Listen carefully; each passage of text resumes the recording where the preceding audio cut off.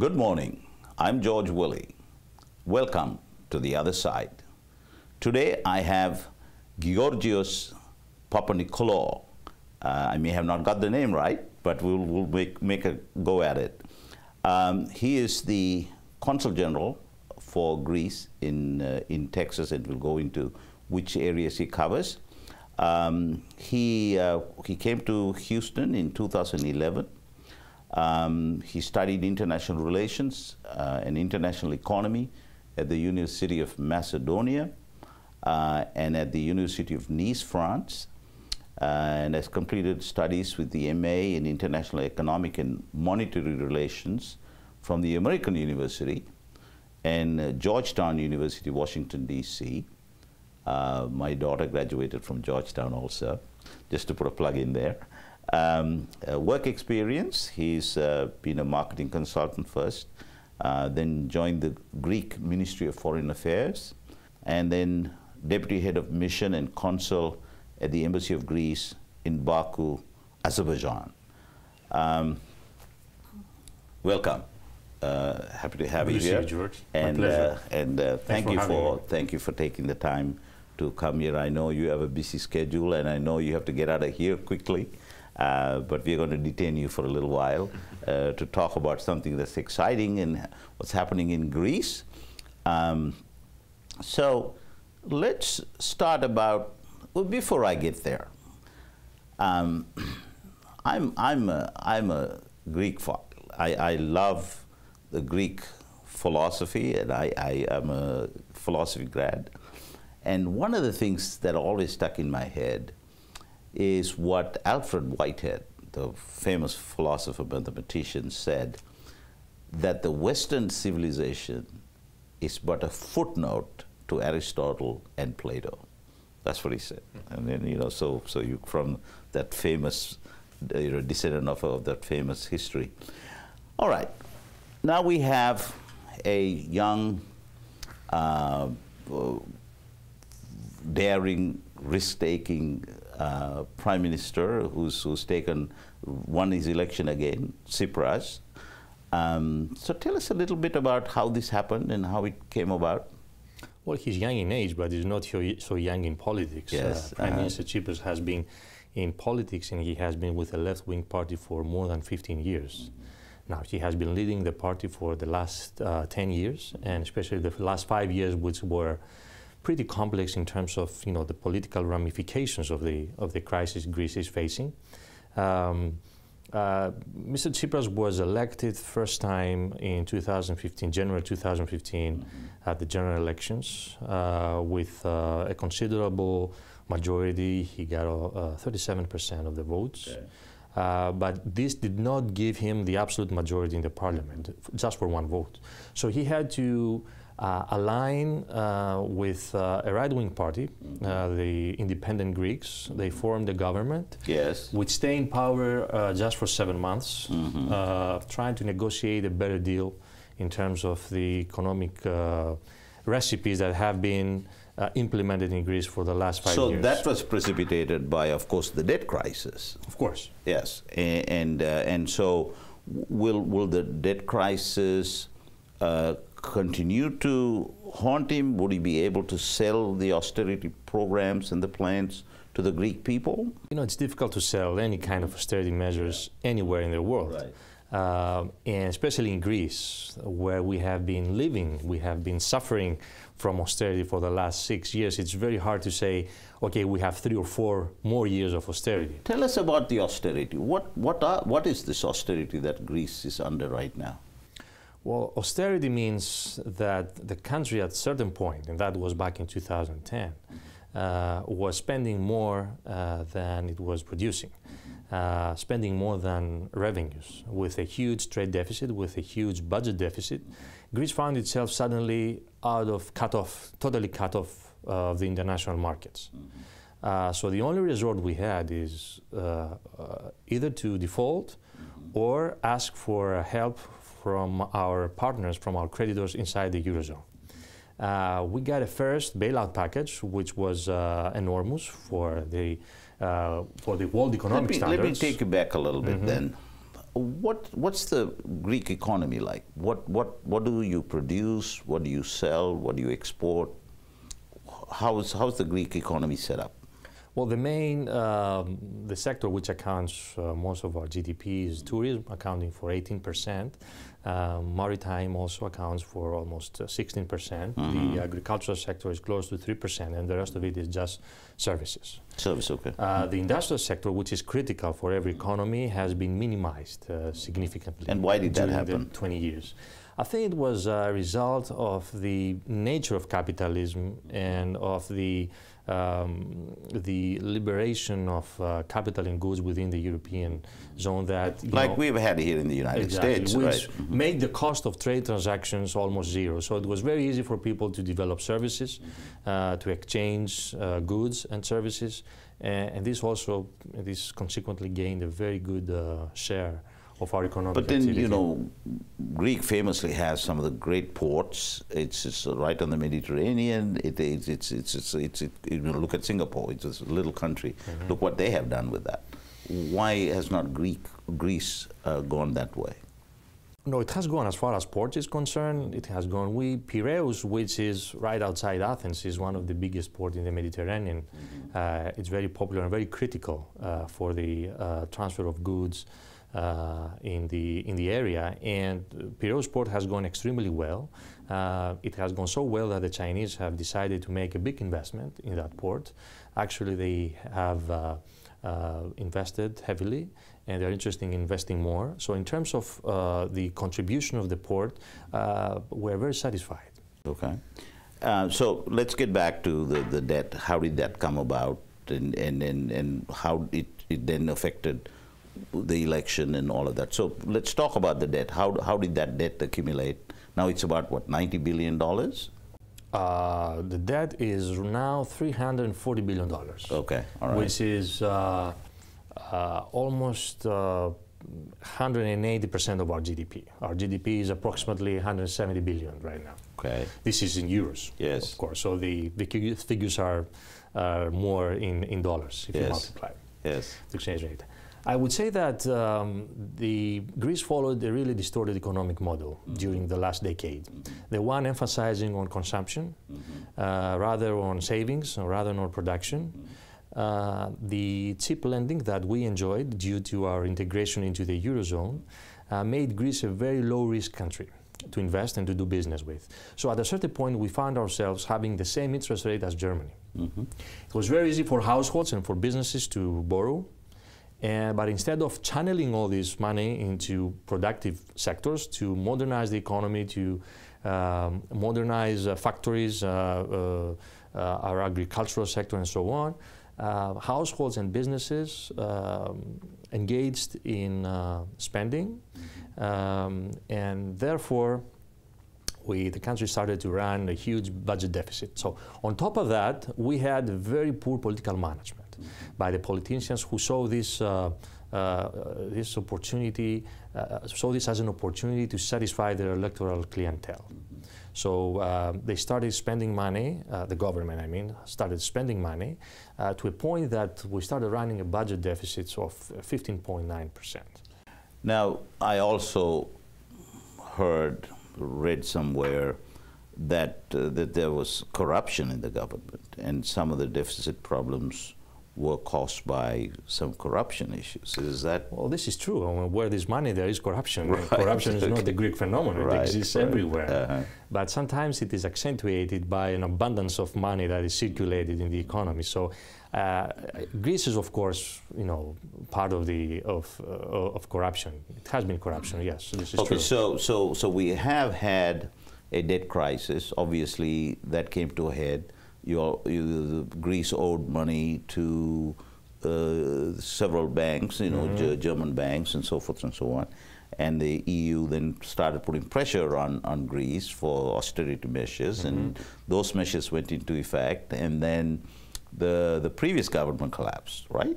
And then uh, Tsipras became prime the minister in governments in plural. Okay, in plural. Only, only, that's right. Only it was, it was, they, they, were, they were a coalition.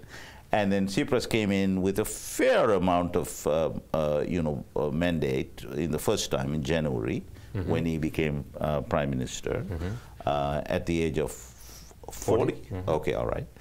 Uh, and then he came in and he looked at the well and said, "Woo, this well is deep." And and he then turned around and, and started negotiating, but the negotiations didn't go that well with uh, with the EU.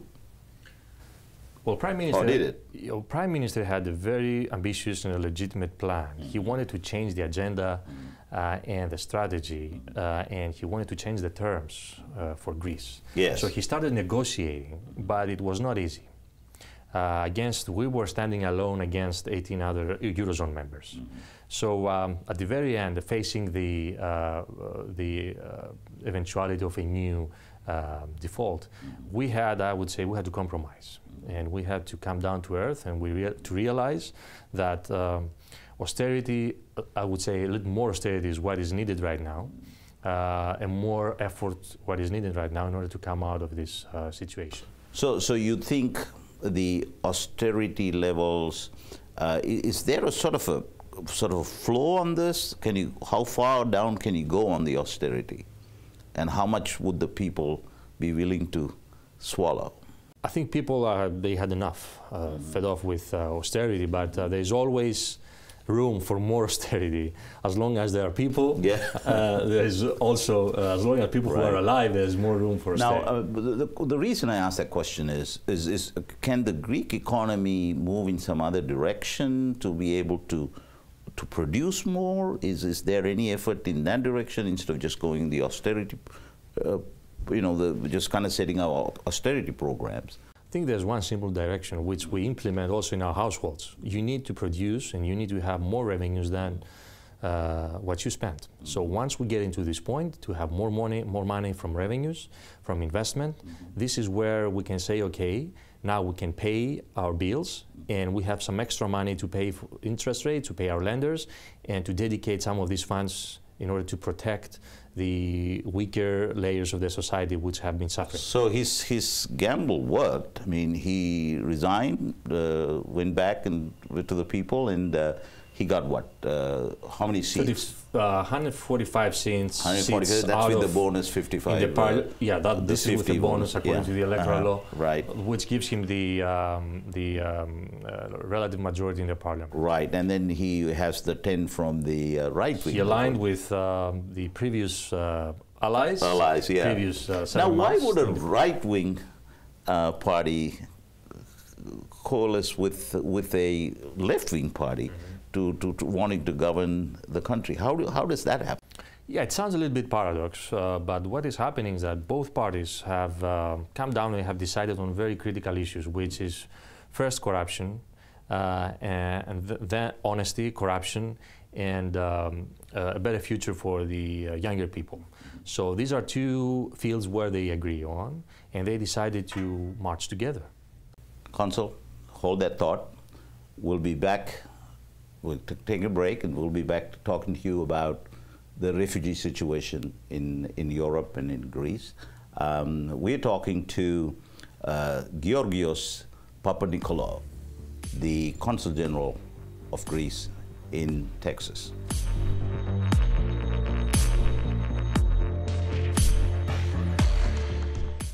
On The Other Side, we interview a variety of people and seek to examine their beliefs, their opinions, and their passions.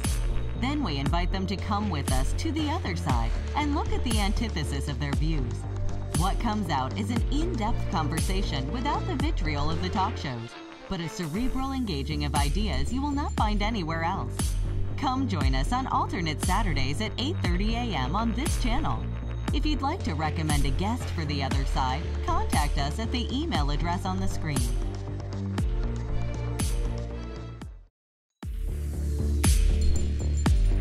Welcome back. We're talking to Consul Papanikolaou, um, the Consul General uh, of Greece to uh, our region here in Texas. Um, we were talking to him in the in the previous segment about uh, the election and the politics of Greece. Well, if you thought they had a problem with the debt crisis, wait a minute, and we'll show you what the next crisis they're facing. And that is the refugee crisis. So let's talk about the refugee crisis. What is the crisis? Well, I guess it's a very complex humanitarian issue that has come up uh, during the last two years, uh, which is basically uh, and uh, a displacement of people of unprecedented magnitude from uh, places like Syria, mainly from Syria, from places like uh, Afghanistan, Yes. Pakistan, Libya, Eritrea, and uh, the rest of the uh, African countries where the living conditions are deteriorating. So now from Syria, for them to get to Greece, they have to go through Turkey, right? Correct. Correct. So, so, so they don't want to stay in Turkey. Is that why are they? Why are they coming all the way to Greece? because they have Greece is a transit country. Right. Uh, their main destination is usually the northern European countries where asylum process is easier and where they have relatives and where job opportunities exist. Okay. But but t- Turkey is a relatively good economy. Why wouldn't they stop there? Why would they continue on to Greece? Uh, they're at the borders, the southern Turkey-Syrian borders, and I would say that the living conditions there are not even decent. So, as I said, they take the risk to travel all these miles dangerously in order to find a better future for themselves and for their families. So just to put it in perspective, what is the distance between Syria and Greece? I don't know the exact uh, length, but it's not only the land trip, it's also a very dangerous Water. water trip that they have to do in the middle of the night in uh, very unsafe uh, conditions. Okay. Uh, so they so, so, so they get there, uh, and some of them don't make it, right? Correct. So you then they're coming from Syria. Now there are also folks that are coming from Afghanistan also. I would say that 75 of the immigration we've been having for the last two years comes from Syria because of the of the Obvious of the issue, war, right, uh-huh. Uh, but also there are economic Im- immigrants from uh, Afghanistan, Pakistan, and Iraq. Iraq, I guess, is a mix of economic immigration and fleeing from from the war, which is already uh, which is existing, still existing. So again, Afghanis would have to go, you know, through Iran to Turkey and then come to Greece. I would assume that. Wow, that's that's a big distance, and, and what perils they face along the way, and with young children, women, it's it's, it's a real crisis. Right? anyone anyone can imagine. Yes. So all right. So then they cross that, and they come to Greece. Then what happens there? And and first of all, let's talk about numbers. How many how many folks have come to Greece so far? Well, I have the numbers here in front of me. Um, 500,000 people have made their way to Europe since the beginning of this year. So half of them uh, have been uh, through through Greece, more than 250,000. Um, and there are also other affected countries like Italy, uh, Hungary, uh, Malta, but Greece is taking the biggest the biggest portion since since it sits in the middle of their passage to the European Union. So they, when they arrive in Greece, let's say 500,000 people, what, is, what does Greece do initially? How do they handle that situation? We have to follow the regulations that have been agreed by the European Union. That means we try to welcome them. We have first reception centers. Uh, we uh, fingerprint them. We identify them. We register them, and then they are free to circulate. Some of them uh, might apply for asylum. Some of them choose not to apply in Greece, but to move into a different Move country Okay. where the asylum process is easier and faster. Uh, but in any case, since the Schengen area is uh, a free area without borders, they are free to circulate within this area. That is why they come to Greece uh, as a first entry, and that is why then they are free to they are free to continue their trip further on. So, in spite of uh, enormous crisis that Greece is facing, you still welcome them, do what you do, and, and follow follow what the EU has uh, set out as, as a protocol to handle these folks. Well, I'm proud to say that the Greeks, despite these financial difficulties, have showed enormous uh, tolerance and and, uh, tolerance. incredible signs of support Yes. uh, for all these people. Think we Unfortunately, we, do not have the luxury and the means Yes. right now to accommodate everyone Right. and to offer them, uh, you know, decent living standards. And then it's a, I'm sure, uh, I think uh, uh, you should be proud of that. Uh, We are to a certain so, extent, to a so, certain extent. but so, we try also to comply the rules that have been agreed on the European level. Because as human beings, we, we're going to have to take care of other human beings. Absolutely. That's, that's the only thing that's left. That's the only thing that defines us, right? So, all right, now, the type of people that come, that have left these countries and come, how, what, what, what kind of people are these? Well, they're mainly everyday people Mm. who had to flee the war in Syria, Mm-hmm. and they're Some say only the, the, the the rich, the wealthy, leave their countries. They are the ones that are able to pay whatever fees that are needed to cross the cross the large land and sea uh, expanses that they, they cross to get to Greece. Uh, if- do you see that happening? Are these folks who come there? Do they have money? Do are they are they the wealthy folk? Well, the information we have is that from there are people from all uh, layers of the society. There were people who saved money in order to make this trip. There are more wealthy people who have decided to uh, seek their fortune into Europe. I wouldn't categorize them between rich and poor. For for us and for every European state, I would say these are people that need to be treated with uh, with uh, respect. Now, obviously, I think the elephant in the room is that people sometimes fear that these folks that are coming from Syria and from Afghanistan, whether they are also bringing terrorism with them. How, how does uh, EU or Greece, for that matter, deal with that, that, that problem? This is true. There is a fear. That's why our duty, uh, officer's duty, is to uh, register them, uh, fingerprint them, make sure that these are not listed into any uh, kind of black uh, list, which has been signaled by international police, Europol, and so on, for illegal activities before. Uh, but unfortunately, uh, there are little things to do. Once they get this paper from the Greek authorities, they are free to travel around. And um, usually, this is a fear that we cannot really eliminate uh, right now. Now, obviously, the borders, German borders, the Austrian border, the Hungarian borders are being closed, uh, at least as of last week when I checked the news. Uh, they are closing those borders. Temporarily. Is it temporary? Is it Okay. temporarily, according to the treaty, the Schengen Treaty, it cannot exceed 10 days. Okay. And then Mm-hmm. after that, what, what will happen to these folks?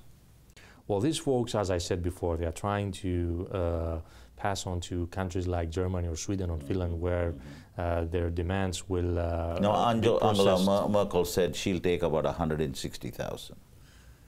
This is what she said initially. Yes. Um, I have not followed lately the Mm-hmm. announcements by the German government, but I'm afraid that there has been a swift a, a switch From in- that number? from, from, from that policy Mm-hmm. uh, to a more skeptical uh, approach. Okay. This, this is how we explain also the closure of the borders, Right. the Austrian-German borders. I think due to internal, I don't want to get into German politics, but I understand that also they need to accommodate the anxiety Yes. and the, the, the legitimate The concerns of, of their politics of citizens. Germany, right, Of their citizens. That's why they introduced this temporary control, which are totally justified by the Schengen. So, so, so what they're going to do then, I guess, is while they're outside the border, they're going to be interviewed, they're going to be checked, they're going to be, they're going to determine if these folks qualify as, as refugees.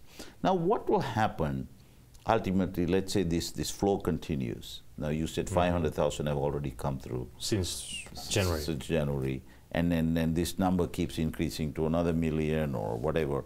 How will, how will Europe handle this, this situation? This is a tough problem. This is a complex situation, and uh, so far, European Union has been uh, treating the symptoms, uh, dealing with the symptoms. That has not been treating the causes, and the causes of this, uh, the roots of this uh, problem, uh, lie in the countries themselves. Countries themselves. So if So we is do not take action, if is we do not take action in Yeah. order to improve the living conditions, in order to terminate the war in Syria, uh, finan- help financially Afghanistan, Pakistan, uh, restore confidence in those citizens, they will keep coming to us.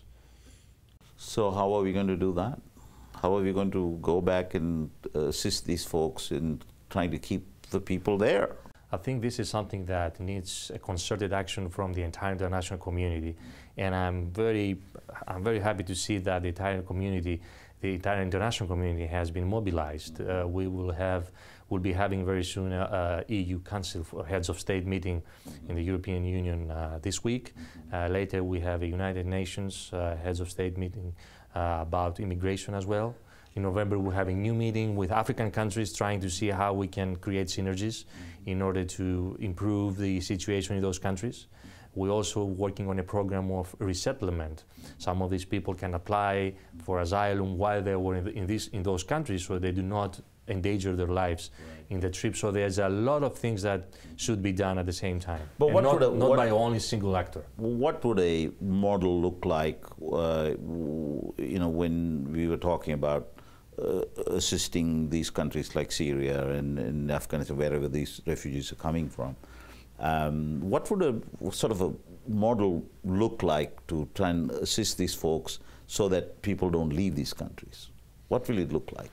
You're talking specifically about Syria? let's talk about Syria. Uh, well, Syria is a more complex situation. Yeah. Um, uh, it, it is subject of, you know, um, further consultation, mm negotiation between not only European partners but also Russia, uh, which has uh, uh, has played an active role. They still have a leverage on Assad regime and the United States, of course, European partners, uh, Saudi Arabia, the neighboring countries, and so on, in order to see how we can terminate the war, how we can create safe zones where the people can stay there uh, until waiting for the war to finish, or how they can formulate their demands for asylum or for displacement into Europe without living under the fear of the war. So the, the, the, refugee crisis obviously at its peak now, uh, and, and Europeans have done well, uh, including Greece, in, in handling this matter. It's, it's been a great, uh, I think, I think the world is, is now seeing a different side of human humanity because uh, one particular scene uh, when these refugees came into, into uh, Austria, -hmm. uh, there was this welcoming group that had water, food. Mm -hmm. Well, this uh, happens everywhere. It, all, it was, I, at least I saw only the, the, mm -hmm. the, mm-hmm. Austrian one. And let me tell you, I was moved to tears looking at that. And, and uh, you know, ho and hopefully we are going to take some refugees here. Uh, Secretary Kerry said uh, we were going to take at least about 80,000 uh, from that region. So I guess that hopefully will help uh, I think we can do better than that, but but that's what uh, Secretary a said. it's a good start, at least. well, thank you so much for coming. I absolutely enjoyed uh, this discussion, and hopefully we'll do this again. I hope so. Uh, thank you thank you. me. And uh, well, uh, you heard Consul Papa Nicola today with us on the other side, and please join us next time on the other side.